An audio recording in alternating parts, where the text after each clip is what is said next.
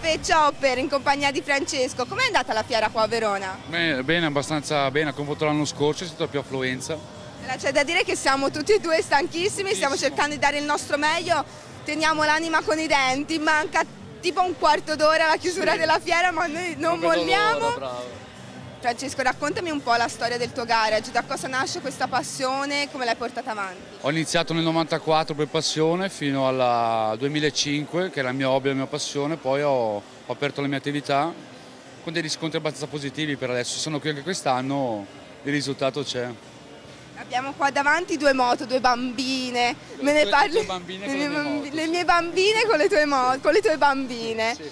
Mi parli un po' delle parti, proprio anche meccaniche che costituiscono sì, sì. questo prodotto? Questo è un Road King del 2005, preparato per un cliente che lo voleva da show diciamo sul cromo, con un cerchione molto particolare, pinze piccole che quasi si nascondono per evidenziare il cerchio e tutte le parti cromate con le varie coperture.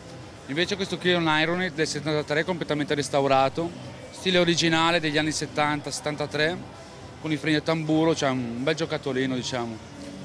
Bene, molto. Un bello sforzo sia mentale che manuale per riuscire a ottimizzare c'è tanto lavoro dietro. Diciamo che il lavoro è sempre quella parte che non si vede mai poi bravo, alla fine, bravo. quando il prodotto è finito. Ci 60 ore che ci vogliono, alla fine non, non si, si vedono vede. mai. Però il risultato in fiera c'è stato. Beh, ricordiamo agli amici a casa come contattarti, quindi il sito, una mail. Sì, il mio sito è www.rfchopper.it e l'email è info-rfchopper.it. E allora un saluto a casa e ci vediamo. Ciao!